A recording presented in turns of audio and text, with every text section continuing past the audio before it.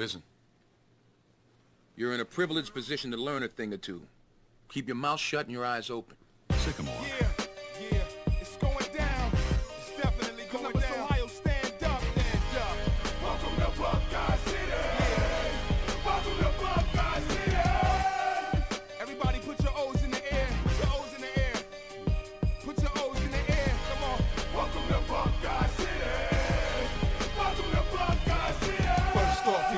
like the world's second largest campus. The first man that ever sent Mike Tyson to the canvas. We keep low bow wow and